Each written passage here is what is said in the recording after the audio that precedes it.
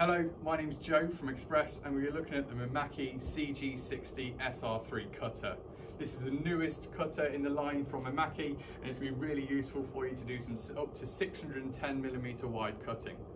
In today's video we're going to be looking through general setup of the machine as well as sort of what comes in the box which will all help you hopefully get the machine set up nice and easily.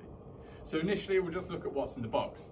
Um, so we're going to start off with the discs that come with the machine. We have the manuals here uh, on a disc. We have Fine Cut 8 and we have Simple Cut as well. Starting with Simple Cut, it's exactly what it says it is. It's a really simple program to allow you to cut basic shapes and text.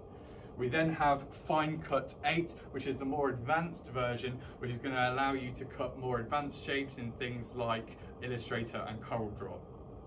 And then we have the operation manuals, which is exactly what they are. It show, sort of shows you how to use the machine, how to maintain the machine, how to look after it, um, little things like that. So it's a really useful disc to have.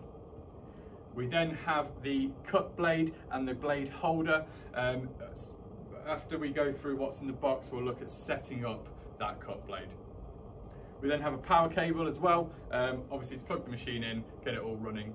Uh, and then we've got our manuals as well um, and a link to updating the firmware to the latest version, which is probably the first thing that we're going to look at. And then we have the stands for the back.